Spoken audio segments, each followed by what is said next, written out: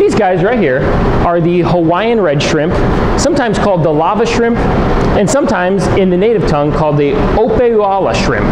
And basically these are considered extremophiles. So these are little tiny shrimp, and they're very small. They're usually less than an inch, and they exist almost solely. They're endemic to Hawaii, which means they don't live anywhere else in the world, and they live almost solely in these pools created by fresh lava flows.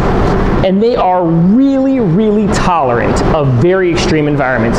So whether that be the salinity of the water, the temperature of the water, or the existence of food at all. So they live in this shrimp bubble here at the St. Louis Zoo, and I feed them about once every three to five weeks. So they eat almost nothing. Um, they are very, very good at surviving in very extreme environments.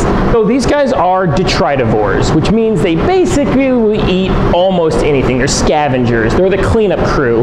Um, and because they live in such extreme environments, there is a massive scarcity of food. They have almost nothing to eat. So a lot of their natural diet is bits of algae and any kind of like cast off debris that happens to fall into these little pools.